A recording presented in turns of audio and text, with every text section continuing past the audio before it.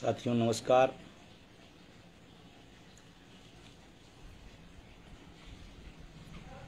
उम्मीद करता हूँ कि आप सब लोग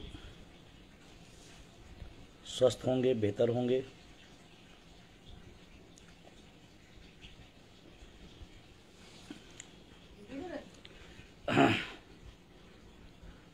आप सभी साथियों से मेरा निवेदन है कि आप अपने सभी ग्रुपों, सभी लोगों तक इस लिंक को ज़रूर भेज दें। जिससे बात दूर तक पहुँचे। जिस मकसद से हम आपके बीच में आए हैं बात करने, वो वहाँ तक मामला जाए। एक एक शिक्षक, कर्मचारी तक, समाज के बुद्धिजीवी तक। इस देश की जो घट, वर्तमान घटनाक्रम है,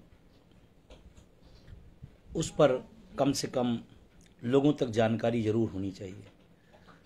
तो आपसे मेरा निवेदन है कि आप फेसबुक हमारे फॉलो करें शेयर करें कमेंट करें और आपके जो बेहतरीन सुझाव हों, वो भी आप लिखें।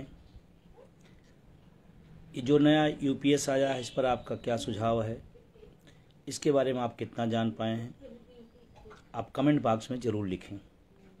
हो सकता है मेरी जानकारी कम हो, आपके माध्यम से वो मुझे मिले।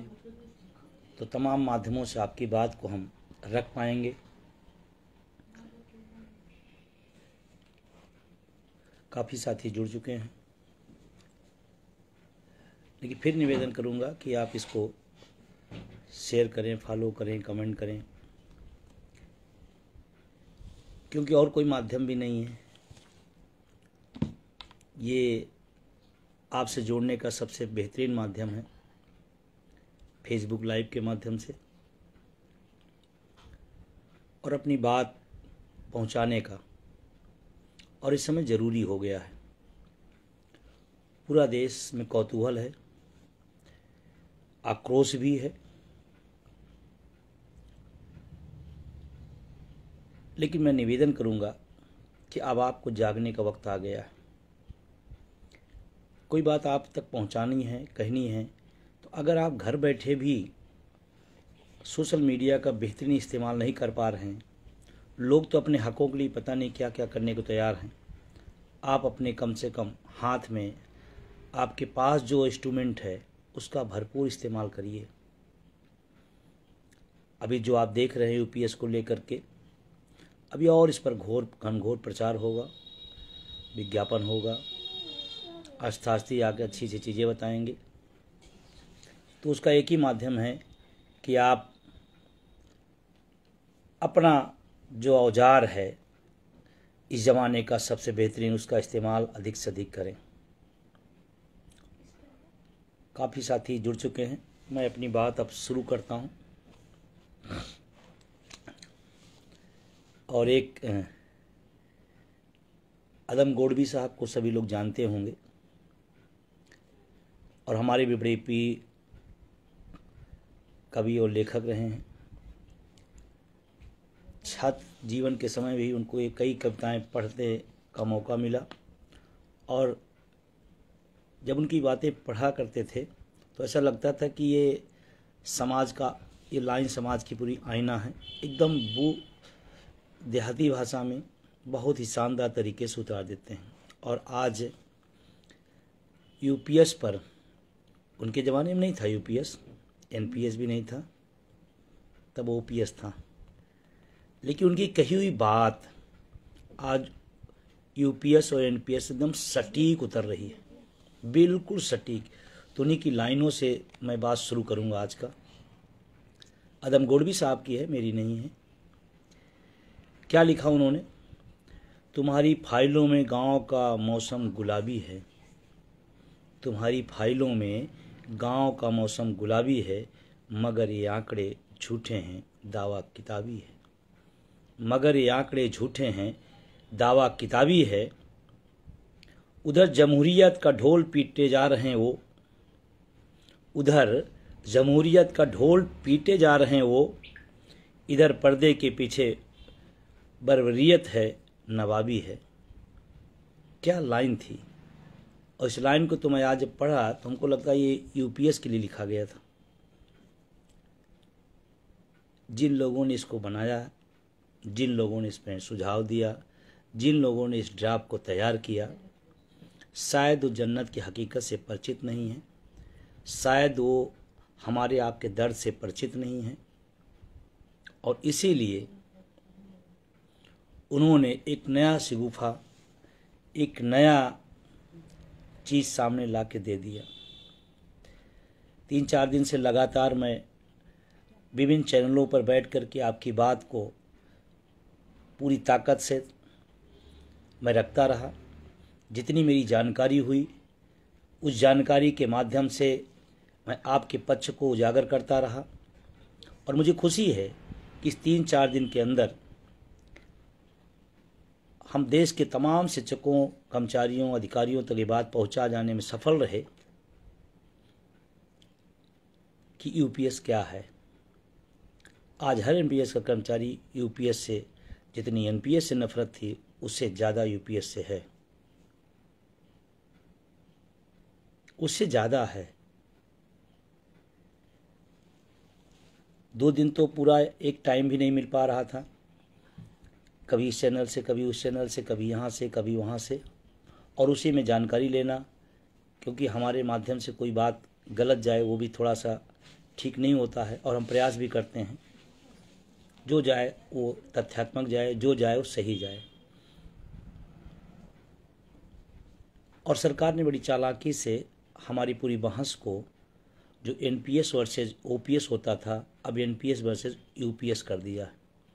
मैं अपने साथियों से कहना चाहता हूँ कि आप इस दोनों बहस को मत चलाइएगा। आप जब भी चलाइएगा N P S versus O P S U P S versus O P S नहीं, सरकार अपने मकसद में कामयाब हो जाएगी। फिर वो बताएगी कि एन पी एस में ये नहीं था, हमने यू पी एस में दे दिया ओ पी एस पीछे हो जाएगा।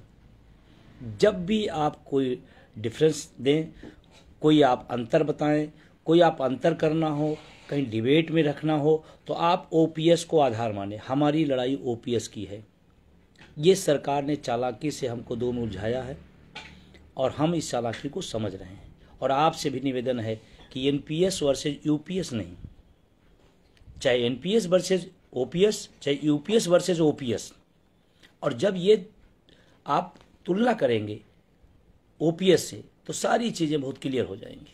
और हमने तमाम चैनलों के माध्यम से जो भी उसकी खामियाँ हैं। और अभी तो खामियाँ ये जो थोड़ा सा दिख रही हैं, अभी तो जब चार्ट पूरा आएगा इसका तो फिर आपको मैं बताऊँ, ज़िम्मेदारी से कह रहा हूँ, जितना एनपीएस दुर्भाग्यपूर्ण था, उससे कई गुना ज़्यादा यूपीएस दुर्भाग्यपूर्ण है। सिर्फ़ एनपीएस के खिलाफ आंदोलन था तो उनको एक नाम बदलना था। और नाम बदलने के नाम पर और सुधार के नाम पर और देने के नाम पर और हड़प लिया उन्होंने। हम लोग इतिहास पढ़ा करते थे, हड़प नीति और दुर्भाग्य है कि बताया कुछ, जाता है होता कुछ है। आपको क्या लगता है, आज यूपीएस की ही चर्चा हो रही है? इतना बढ़िया, इतना शानदार, तमाम शुरू हो गए हैं। क्या समझते हैं, जब एनपीएस आया था तो इससे कम चर्चा थी क्या? इससे भी ज़्यादा चर्चा थी। इससे भी ज़्यादा खूबसूरत बताया जाता था। इससे भी ज़्यादा शानदार बताया जाता था। लेकिन उस समय हमारी संख्या नहीं थी, हमारी जानकारियाँ नहीं थी, हम लोग नहीं थे।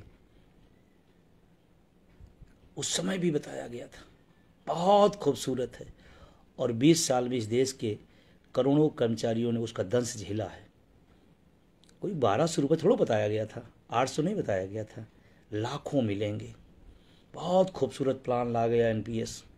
बहुत खूबसूरत है। फिर क्या हुआ? बीस साल में अचानक गड़बड़ था ना कुछ? अगर गड़बड़ न होता तो एनपीएस से यूपीएस पे क्यों आते? और आप ध्यान रखिएगा एनपीएस में आज तक न कोई सरकार, न कोई मंत्री, न कोई अधिकारी नहीं जान पाए एनपीएस है क्या। जिससे पूछो उससे अलग अलग भाषा। और अभी आपको इसका उदाहरण सामने बताता हूँ। यूपीएस को लेकर के दो मंत्री, दो तरह का बयान। अश्विन वैष्णव साहब, माननीय मंत्री जी, वो कह रहे हैं कि एनपीएस से यूपीएस आया है और सिस्टम सब उसी है एनपीएस वाला। आज सीतारमण जी का बयान है, वित्त मंत्री जी का।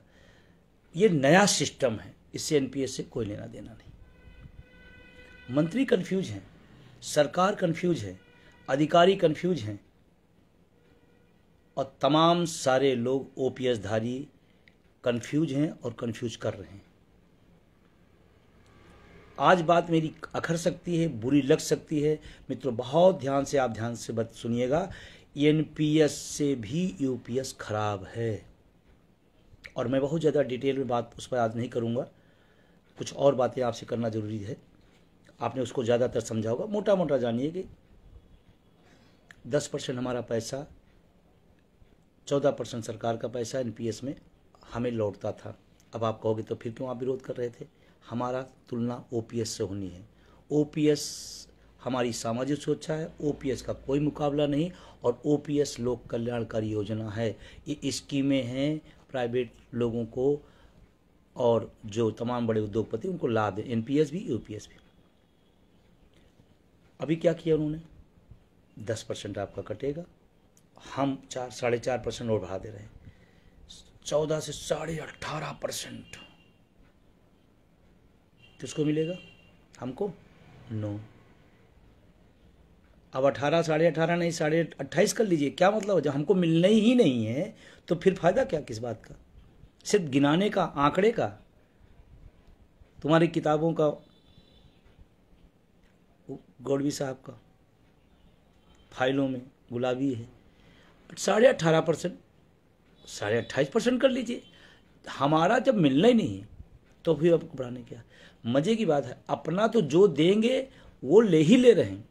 हमारे खून पसीने की कमाई का पैसा, हमारी मेहनत का पैसा, हमारी तनख्वाह का पैसा, दस परसेंट यूपीएस में नो। और क्या करें? हम ये देंगे, हम ये देंगे। अरे, मेरा पैसा जब काट के मेरे को नहीं वापस कर रहे हो तो आप दोगे, हम कैसे उम्मीद करें? कोरोना काल में 18 महीने का डीए जो सरकार नहीं दे पाई है, वो ख्वाब दिखा रही है कि हम साढ़े अट्ठारह परसेंट बढ़ा रहे हैं और हमको देंगे भी नहीं। जो चीज़ हमको आप नहीं दोगे तो आप उसमें जितनी वृद्धि कर रहा हो। मैं तो कहता हूँ, इस देश के टैक्स पेयर का साढ़े चार परसेंट पैसा आप हमारे बहाने उद्योगपतियों को दे रहे हो। इस बात का ध्यान रखना। बहुत ज़्यादा उस पर नहीं, बहुत सारी चर्चा हो गई। पैसा हमारा दस परसेंट। क्यों हजम कर रहे हैं आप? और आंकड़ा लगाइएगा अभी। कोई अट्ठारह साल, कोई बीस साल नौकरी करेगा, दस परसेंट के हिसाब से हो सकता है उसका पंद्रह लाख हो जाए एनपीएस में कटते कटते। और आप हमसे क्या कर रहे हो? कि हम लास्ट के छः महीने का वेतन, उसमें टवान टेक्निकलिटी है, कम ही है, हम जो बताएँगे उससे कम ही मिलेगा। हम अधिकतम बता रहे हैं। टोटल छः महीने का, फिर उसका दस परसेंट का फिर ये निकलेगा। मैं कहता हूँ, आप सीधा सीधा भी अगर छः महीने की मेरी तनख्वाह दे देते हैं तो मेरी तनख्वाह अगर एक लाख होगी, किसी की एक लाख तनख्वाह होगी तो छः महीने छः लाख हुई। छः लाख रुपए आप हमको बाद में दोगे और हमारा पंद्रह लाख रुपए रख लोगे। ढोल में पोल है। बीस साल में हमारी हो जाती थी, पच्चीस साल कर दिया। सियोरिटी। और अभी एक बहुत ख़तरनाक जो चीज़ आ रही है, अभी बहुत कुछ ड्राफ्ट पे आएगा, लेकिन जो सूचनाएँ निकल के आई हैं मीडिया के माध्यम से, जो मंत्री ने जवाब दिया था, एक पत्रकार ने पूछा कि क्या जब वो आदमी अपना सचिव स्वनिवृत्ति ले लेता है तो क्या पेंशन, अगर वो उस समय साठ साल पूरा नहीं करता है तो उस समय पेंशन मिलेगी? मंत्री जी का नो, जब साठ साल हो जाएगा तब। बीच में जो चौवन साल रिटायर हो गया स्वैच्छिक सेवानिवृत्ति ले लिया। तो छः साल क्या करेगा? पेंशन के इंतज़ार में पता नहीं क्या हो जाएगा। सोचो आप, कितनी बड़ी चीटिंग, कितनी बड़ी चीटिंग। और आपको याद हो या अनुवाद हो, किसी फेसबुक लाइव पे या हमने कोई लेख लिखा था, हमने एक जगह लिखा था 2004 की गलतियाँ 24 में नहीं करिएगा। और आपको मैं बताऊँ, चार की गलतियाँ हम आप बहुत जिम्मेदार नहीं थे, क्योंकि बहुत सारे लोग नौकरी में नहीं आए थे, बहुत सारे लोगों को समझ में नहीं आया था, बहुत सारी संख्या नहीं थी। लेकिन चौबीस में हम हैं। जानकार हैं, संख्या भी है। चार की गलती चौबीस हमारे आँखों के सामने हमारी हक मारा जा रहा है और हम चुप रहे। हैं लोग चुप किस बात पर रहते हैं? मैं भी आज उसको क्लियर करना चाहता हूँ। लेकिन तमाम सारा झोल है। बहुत सारी चीज़ें हैं, मैं डिबेट में तमाम सारी बातें कह चुका हूँ और लगातार आ रहे हैं। लेकिन मैं आपसे कहना चाहता हूँ कि चार में हम नहीं थे, कोई बात नहीं। चौबीस में हमारे हमारे सामने, आँखों के सामने हमारा हक मारा जाए चुप रहे। और चुप किस बात पर कि हमारी पार्टी है पसंद की, हम इसलिए अपना हक चुपचाप देने देंगे। जाति के नाम पर धर्म के नाम पर, विचारधारा के नाम पर। और तो और, आइए हम फला विभाग के हैं, फला गुट के हैं, फला पद पर हैं। एन पी एस धारियों थोड़ा ध्यान रखिएगा। न विभाग काम आएगा, न गुट काम आएगा, न विचारधारा काम आएगा। लास्ट में अगर कोई काम आए तो ओपीएस काम आएगा। और जो लोग सरकार के पक्ष में खड़े हैं, वो भी अपने हित में खड़े हैं, क्योंकि ओपीएस लेते हुए अब कुछ और लेने की तैयारी में होंगे। वो जाने, आपका तो मारा जा रहा है। कह रहे, आप तो मैं फला संगठन का पदाधिकारी हूँ, मैं क्या करूँ? मेरा तो शीर्ष नेतृत्व जो है, कह रहा है, बहुत अच्छी है। तो आपका दिमाग नहीं काम कर रहा है। शीर्ष नेतृत्व ओपीएस ले रहा है। आपको नहीं मिलेगा। और आपको विभाग के नाम पर, संगठन के नाम पर, पद के नाम पर आपको बांधा जा रहा है। अब यही टाइम है अपने हक के लिए, चाहे विभाग, चाहे पद हो, चाहे गुट हो, रिवोल्ट करने का टाइम है। और अगर ये गलती आप करें कि नहीं, हम पद के हैं, हम फला संगठन के हैं, और हमारा शीर्ष नेतृत्व हमारा समर्थन नहीं कर रहा, शीर्ष नेतृत्व हमको दूसरी बात बता रहा, आपको तो इतना क्लियर होना चाहिए ना कि एनपीएस आपको मिलेगा और ओपीएस मिलेगा तो क्या फ़र्क है? इतना तो समझदारी आप में ही है। आज मैं फिर कह रहा हूँ, अगर अपने हक के प्रति आप समझदार हैं तो आपको एक तरह अर्जुन की तरह जो उनकी आँख की तरह दिखाई पड़ता था, एक लक्ष्य ओपीएस अगर आपके रास्ते में ओपीएस के रास्ते में आपका पद, आपका विभाग, आपका गुट, आपका नेतृत्व आ रहा है तो आपको अब आज समय आ गया है कि आप बताओ, हमारे लिए ओपीएस महत्वपूर्ण है, गुट और विभाग और पद महत्वपूर्ण नहीं। तमाम लोग बंदे कहते मैं मैं तो फला पदाधिकारी हूँ। फला पदाधिकारी हूँ। ध्यान रखना, जो नेतृत्व आपको बता रहा है अच्छी अच्छी ना, वो खुद ओपीएस ले रहा। और मुझे तो दुख हो रहा है कि तमाम शिक्षकों, कर्मचारियों के संगठन समय साइलेंट हैं, चुप हैं, जिस समय लाखों करोड़ों कर्मचारियों के हितों पर कुठारा घात हो रहा है, आप देख लेना तमाम शीर्ष नेतृत्व चुप है, कोई बयान नहीं आ रहा है। और अगर किसी का एक आध आ रहा है तो समर्थन में आ रहा है। समर्थन सरकार के नहीं है, ध्यान रखना। आपके बुढ़ापे के विरोध में आ रहा है। आपके भविष्य के विरोध में आ रहा है। अगर यूपीएस का कोई समर्थन करता है एनपीएस का कोई समर्थन करता है, इसका मतलब आपके भविष्य के खिलाफ है, आपके बच्चों के खिलाफ है, आपके बुढ़ापे के खिलाफ है, इस बात को आपको समझना पड़ेगा। इस बात को आपको समझना पड़ेगा। चार की गलती चौबीस में नहीं। अगर आपका शीर्ष नेतृत्व और आपका संगठन कहता है ओपीएस, यूपीएस अच्छा है तो एक सवाल, एनपीएस में भी व्यवस्था थी, ओपीएस में आने वालों का, कोई लिया क्या? मैं पूरा देश गया, एक भी आदमी बुद्धिमान हमको नहीं मिला जो एनपीएस से ओपीएस में आया हो। और पैरोकार लोगों से मैं निवेदन करना चाहता हूँ, अपने स्वार्थ में, अपने व्यक्तिगत हितों में, इस बड़ी पीढ़ी का विनाश मत करिए, इस बड़ी पीढ़ी को गुमराह मत करिए। ये व्यवस्था आई है, वापस की जा सकती है। लेकिन अगर पीढ़ियों के साथ अन्याय हो गया तो पूरी ज़िंदगी टीस रहेगी। और मैं आज भी अटेवा एन ओपीएस और तमाम उसके सहयोगी संगठनों से एक लक्ष्य पर सिर्फ़ ओपीएस सिर्फ़ ओपीएस। और आप, आज समय भी आ गया है। मुखौटों को पहचानिए। मैं किसी को व्यक्तिगत नहीं कह रहा हूँ, लेकिन मैं आपसे एक बुद्धिजीवी होने नाते अपील कर रहा हूँ, आप अपना ब्रेन इस्तेमाल करिए। सबको दिया है। पूछिए कि ओपीएस वाले ज़्यादा खुशहाल है या एनपीएस वाले खुशहाल है? और आपका उत्तर आए, नो, एनपीएस ठीक नहीं है और आपका संगठन आपको रोकता है, आपसे झूठी तारीफ़ कराता है तो ऐसे संगठन को लात मारिएगा। ऐसे संगठन को छोड़ दीजिएगा। क्या करेंगे संगठन लेकर के? क्या करेंगे पद लेकर के जब आपका भविष्य खत्म हो जाएगा? और तमाम देश के शिक्षकों, कर्मचारियों, लोगों से मैं अपील करना चाहता हूँ, अगर पुरानी पेंशन की लड़ाई है तो पद विभाग गुटों की दावरों से बाहर निकलिए। और अटेवा एन और उनके सहयोगी संगठनों ने लगातार इस मुद्दे को मुर्दा हो गया था। और आपको बताऊँ, तमाम संगठन एनपीएस की भी उस समय तारीफ़ कर रहे थे।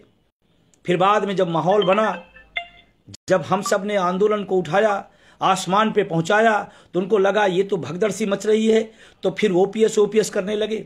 आज मैं कह रहा हूँ, जो लोग यूपीएस की आज तारीफ़ कर रहे हैं, आने वाले समय में जब आंदोलन तीव्र होगा, बड़ा होगा तो यही लोग फिर से कहेंगे, नहीं नहीं, मैं तो समझ नहीं पाया ओपीएस ही अच्छी है। और उस समय ज़ुबान पकड़ लीजिएगा, लेकिन तब तक लेट हो चुका होगा। आज आपको तैयार होना पड़ेगा, खड़ा होना पड़ेगा। अगर मुख्यमंत्री से सवाल हो सकता है, प्रधानमंत्री से सवाल हो सकता है तो अपने संगठन के नेतृत्व से सवाल क्यों नहीं हो सकता कि आप हमारे साथ ऐसा क्यों कर रहे हैं? हमने नेतृत्व इसलिए दिया है कि हमारी संरक्षा हो, हमारी सुरक्षा हो, हमारे बुढ़ापे की लाठी के लिए पैरोकारी करो आप, इसलिए है। हम प्रधानमंत्री से पूछ सकते हैं मुख्यमंत्री से पूछ सकते हैं तो अपने नेतृत्व से क्यों नहीं पूछ सकते हैं? मैं तो कहता हूँ, जो भी किसी भी संगठन में हो, एनपीएस में अगर हैं और आपका नेतृत्व, आपका संगठन अगर यूपीएस का तारीफ़ कर रहा है, यूपीएस का समर्थन कर रहा है तो आप सामूहिक रूप से जाइए और पूछिए कि मेरे भविष्य के साथ कुठाराघात क्यों कर रहे हैं आप? और अगर उनका उत्तर नो हो तो आप सामने नो करके चले आइएगा, फिर मुझे किसी संगठन, किसी ऐसे की ज़रूरत नहीं है। ये आपके अग्नि परीक्षा का समय आ गया है। अगर आप चूके तो 20 साल का दंश एनपीएस का नौजवानों ने झेला है, ओपीएस धारियों ने नहीं झेला है। और आगे वाली पीढ़ी ओपीएस का दर्द दंश झेलेगी। इसलिए मेरा निवेदन है, मैं व्यक्तिगत रूप से किसी के नहीं हूँ, लेकिन मैं आपसे ज़रूर कहूँगा कि एनपीएस में होने नाते अगर आपका संघ संगठन आड़े आ रहा नेतृत्व आड़े आ रहा है तो आप आँख में आँख डालकर सवाल करिए। और पूछिए, क्यों ओपीएस नहीं? ठीक है, सरकार नहीं देती, हम डटे रहते, हम खड़े रहते, हम डिनाई कर देते कि नहीं, मुझे नहीं पसंद है। हम तो मान के चले आए, हम तो तारीफों के पुल बाँध रहे हैं। हम तो खूबियाँ गिनाना शुरू कर दिए हैं। और मैं किसी एक व्यक्ति एक संगठन की बात मैं नहीं कर रहा हूँ। आज का आपका नेतृत्व अगर यूपीएस के खिलाफ नहीं बोल रहा है तो अपने अपने नेतृत्वों से पूछो कि आप क्या कर रहे हो। क्यों नहीं आज मेरा भविष्य खतरे में है तो आप क्यों नहीं बोल रहे हो? और सभी से मेरी अपील है, आप पूछो ज़रूर। और पूछने के बाद कहो, अगर आप ओपीएस के विरोध में है तो आप वीडियो जारी करो। आप लिखो। कि ये गलत है, मैं इसको स्वीकार नहीं करूँगा और हम ओपीएस के पक्ष में खड़े हैं। कुछ लोग बताएँगे, ऐसा ऐसा हो रहा फिर ऐसा हो जाएगा, फिर ऐसा हो जाएगा। बीस साल का दंश झेला है इस देश ने, करोड़ों कर्मचारियों उस समय भी कुछ लोगों ने गलतियाँ की थी। सरकार से आपको जितनी पीड़ा है, अगर आपका नेतृत्व और आपका संगठन यूपीएस की तरफदारी करेगा तो ध्यान रखना आपके बुढ़ापे का विरोधी है। कोई भी हो, हक हमारा, और कहते महाभारत में क्या कहा गया था? महाभारत में क्या कहा गया था? जब धर्म अधर्म की बात आए तो सामने वाले को मत देखो, कौन है वो? महाभारत को आपने अच्छी तरीके देखा होगा। धर्म, अधर्म का जब लड़ाई हो तो आपको धर्म के साथ खड़ा होना है। ये नहीं देखना है कि मेरे ताऊ है, मेरे दादा है, मेरे चाचा है। आपका नेतृत्व है, आपका गुट है, आपका संगठन है। धर्म युद्ध में धर्म के साथ खड़े हुए और आज का नौजवानों का जो धर्म है ओपीएस है। और अब लड़ाई जब सत्तर परसेंट जीत चुके हैं, उस समय समझौते की बात। सरकार यूँ ही नहीं आई। पत्र लिखने से नहीं आई। इस देश के नौजवानों ने एक संघर्ष किया है, एक अपना खून पसीना लगाया इस आंदोलन के पीछे। अगर आज सरकार आई है तो उसी आंदोलनों के दम पर, समझौतों के दम पर नहीं, संघर्षों के दम पर घुटने के बल आई है। और उस समय जब घुटने के दम पे आई, जब मज़बूत सरकार से मजबूर सरकार हो गई, फिर हम समझौता किस बात के लिए करेंगे? तो मेरा निवेदन है आप सबसे महाभारत का धर्म युद्ध याद रखिएगा। और अगर जमीर मर गया है तो फिर ओपीएस की बात मत करिएगा कभी। फिर उसकी खूबियों की चर्चा मत करिएगा कभी। फिर ना कहिएगा, मुझे इतना मिलेगा। मैं कैसे जीऊँगा? मेरा परिवार कैसे जिएगा? फिर इसका राइट आपके पास नहीं है। रेलवे के साथियों का लगातार मैसेज आ रहा है। लगातार मेरे संपर्क में है। तमाम सारे रेलवे के कर्मचारी, नेता तमाम सारे एनपीएस कर्मचारी लगातार कह रहे हैं कि मेरे साथ छल हो गया है। अगर आपके साथ सरकार ने छल किया है तो आप थोड़ा चिंतन मंथन करिए कि और कौन लोग हैं जो छल किए हैं। और मुझे खुशी है, रेलवे के अंदर तमाम सारे लोगों का लगातार फ़ोन आ रहा है और उन्होंने बगावत का बिगुल बजा दिया है। तमाम जगहों पर विरोध प्रदर्शन शुरू हो गए हैं। और मैं देश के तमाम शिक्षकों, कर्मचारी संगठनों से भी कहना चाहता हूँ, चूकिएगा नहीं मत। ओपीएस के समर्थन में, एनपीएस, यूपीएस के विरोध में खड़े हो जाइएगा। कुछ चंद दिनों के बाद आपको ओपीएस मिलेगी। और एक खुशखबरी अच्छी है, देश का नौजवान उत्साहित हो गया है। कह रहा जब एनपीएस से यूपीएस पे आ सकते हैं तो थोड़ा एक बार मिलकर धक्का और लगा जाए ओपीएस आ जाएगा। और सही बात है, उनका विश्वास बिल्कुल सही है, उनका कथन भी बिल्कुल सही है। इस सरकार ने तो तमाम सारे लोग जो सुसुप्त हो गए थे, उनको भी मौका दे दिया, जो एनपीएस में संघर्ष कर रहे थे और कुछ ढीले हो रहे थे, यूपीएस आने पर उनकी आक्रोश, उनका उत्तेजना और बढ़ गई है कि सरकार ने मेरे साथ नाइंसाफी की है। इतनी बड़ी नाइंसाफी।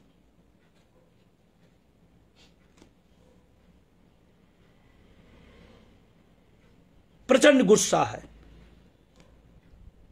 हमको तो अभी फ़िलहाल एक भी एनपीएस वाला नहीं मिला जिसने तारीफ़ की हो यूपीएस की। तारीफ़ करने वाले सब यू ओपीएस में हैं।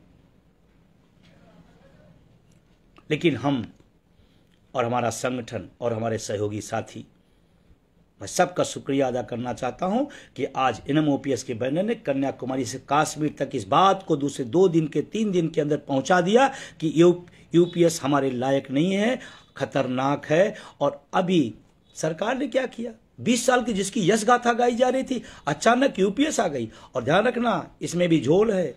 कमेटी कहाँ गई? कमेटी की रिपोर्ट किस, कहाँ आई? किसके सामने प्रस्तुत हुई? कमेटी में क्या लिखा? कमेटी ने क्या सुझाव दिया? कुछ नहीं। अचानक हरियाणा महाराष्ट्र का चुनाव सामने, मास्टर स्टोक फेल हो गया। और हरियाणा के और महाराष्ट्र के तमाम साथियों से मैं कहना चाहता हूँ, आपके पास अपने लिए भी और देश के लिए मौका है। कुछ गलतियाँ पिछले विधानसभा चुनाव में लोगों ने किया था, नहीं, आज यू आ ही नहीं पता वो हो जाता। तो आप सबसे मैं विशेष अपील करूँगा कि आपके पास आज चाबी आ गई है इस देश के लाखों लोगों के भविष्य के लिए ओपीएस का सौगात देने का। आप चोट मारिएगा, यू से ओ आ जाएँगे। क्योंकि नेता किसी बात से डरता नहीं है, किसी बात से नहीं डरता। क्या नियम है, क्या कानून है, क्या संविधान, उससे कोई मतलब नहीं। हार से डरता है, बोर की चोट से डरता है। उत्तर प्रदेश में डेढ़ साल से फ़ाइल 2005 की पड़ी थी।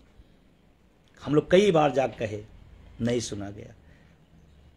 लोकसभा का रिज़ल्ट आया, बिना पूछे फ़ाइल को पलट करके, धूल हटा करके साइन कर दी गई थी। सिर बोर्ड की चोट है।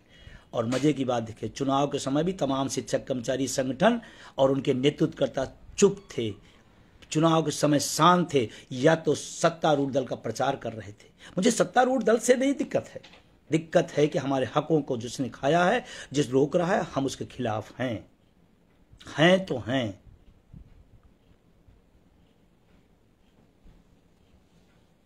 और अभी कार्यक्रम जारी हुआ है। इस देश का पहला संगठन है, जो यूपीएस के खिलाफ तन के खड़ा हो गया है। और मेरी कल राष्ट्रीय कार्यकारिणी की बैठक थी। हमारे पूरे साथियों ने एक मत से यूपीएस के विरोध में अपना समर्थन दिया। और इसीलिए कल ही तय हो गया कि इसके खिलाफ हम लोग लड़ेंगे और हम लोग जीतेंगे। कार्यक्रम आ गया है। और मैं कहना चाहता हूँ, आप हमारे सदस्य हैं नहीं हैं? हमारे संगठन से आप ताल्लुकात रखते हैं या नहीं रखते हैं? ओपीएस से ताल्लुकात रखते हैं। तो इस इस आंदोलन में आप भागीदारी निभाइएगा। अगर आप भागीदारी निभाएँगे, एक माहौल क्रिएट होगा, जो लोग आज तारीफ़ में लगे हैं, दो दिन बाद, एक हफ़्ते बाद, हमने बदलते लोगों को देखा है। पहले भी एनपीएस जब आया था, बड़ी तारीफें संगठनों के तमाम नेतृत्व करता करते थे।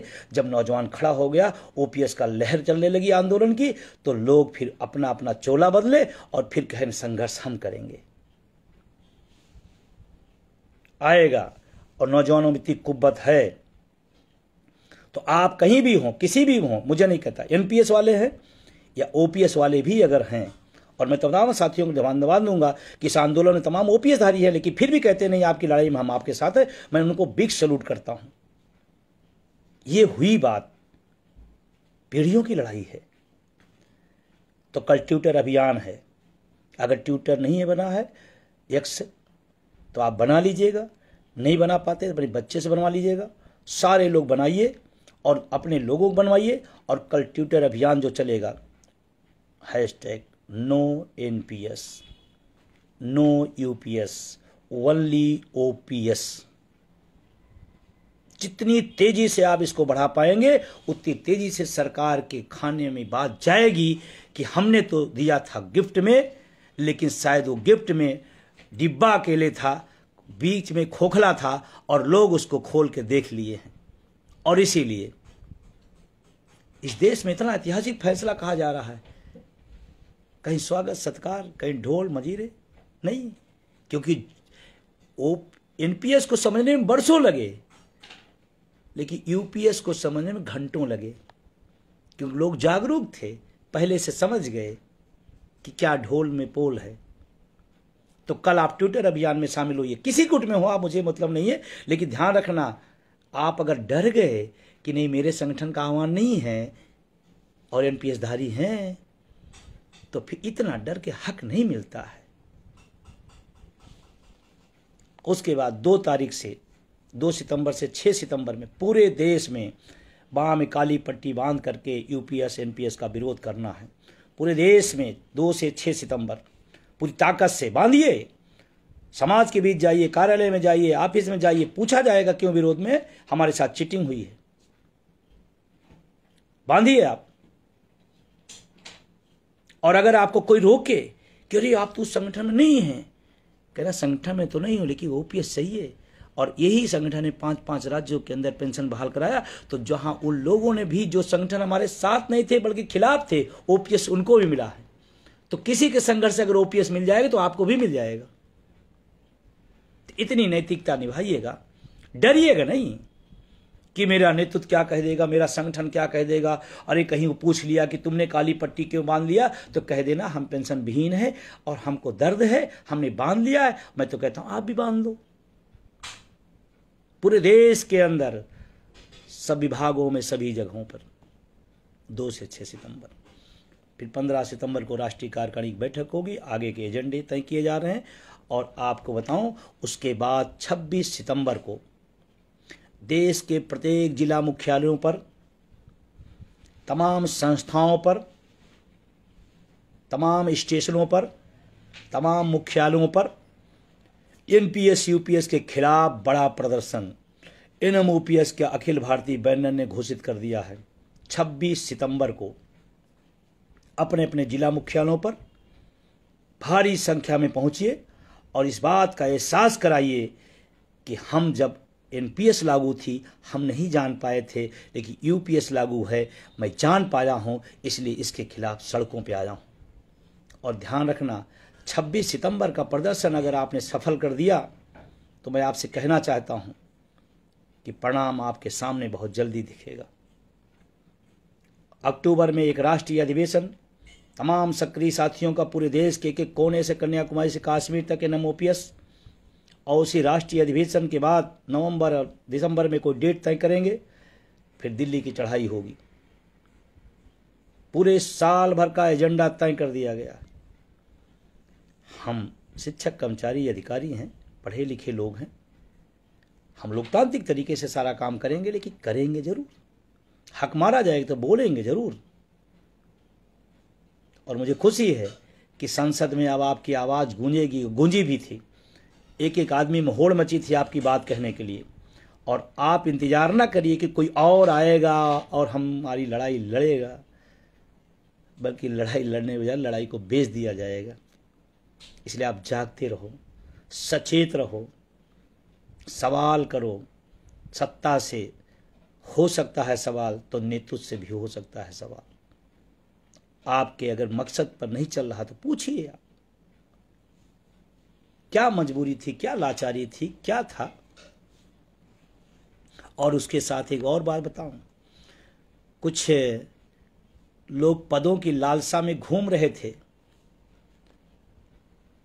उनसे भी होशियार रहना।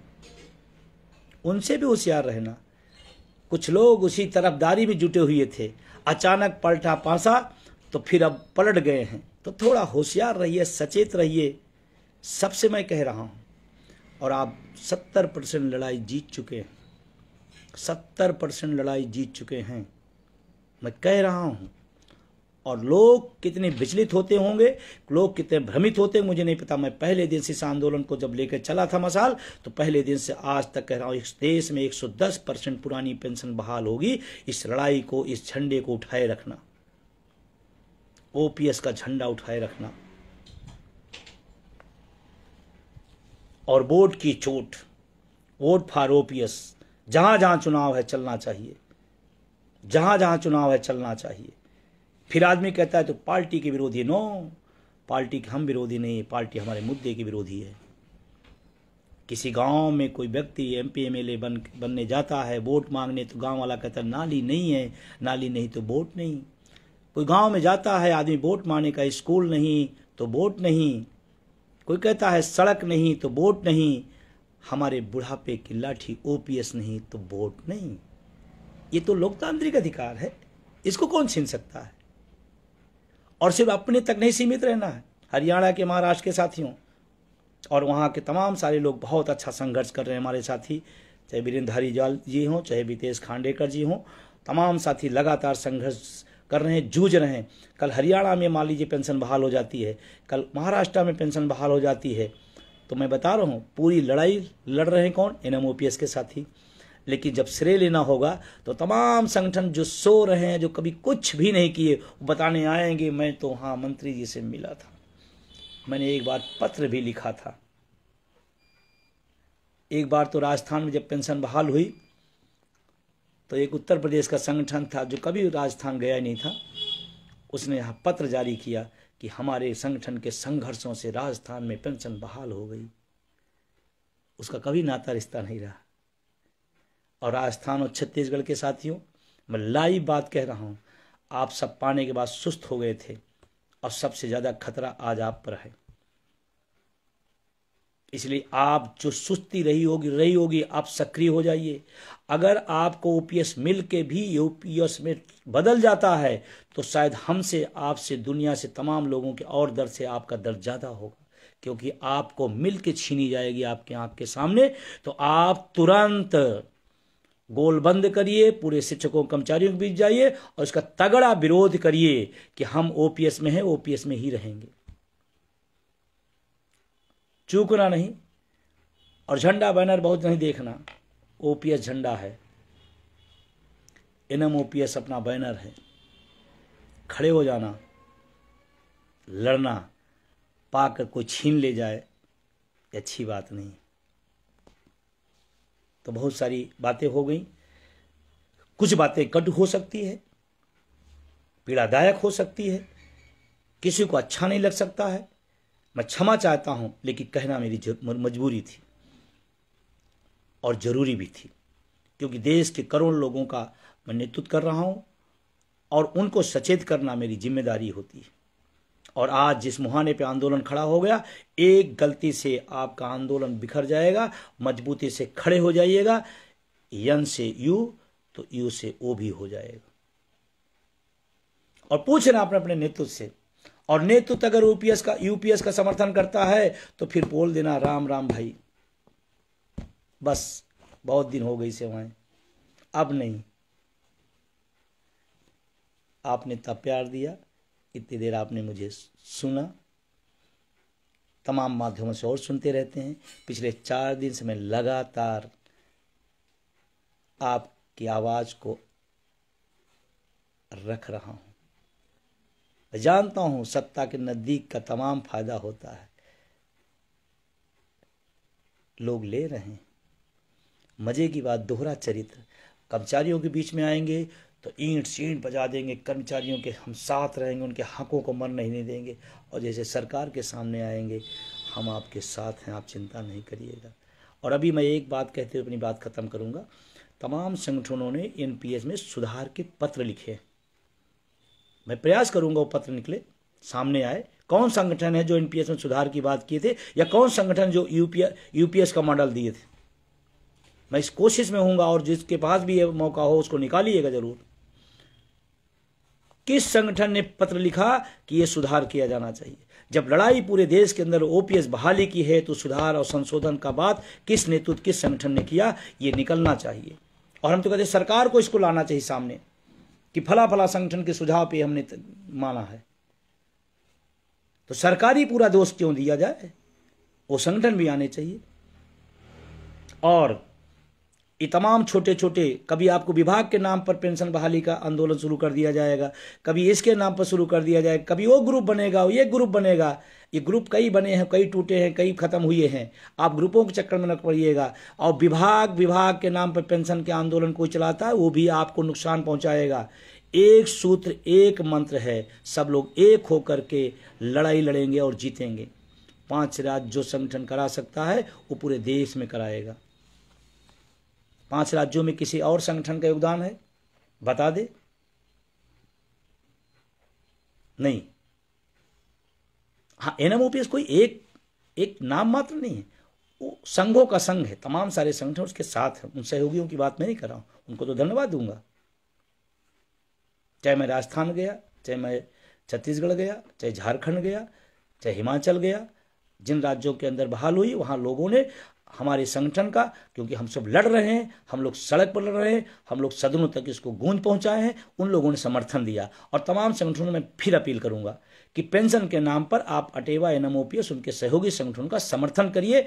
आप अगर नहीं लड़ सकते हैं तो कम से कम समर्थन में खड़े हो जाइएगा। वही आपके लिए, हमारे लिए बहुत बड़ी ताकत होगी।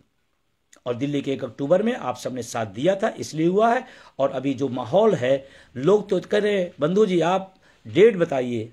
दिल्ली कब आना है। तो हमने कहा, नहीं, अभी एक सिस्टम है, उस सिस्टम के तहत होगा और बताएँगे और उम्मीद है उससे भी बड़ा होगा।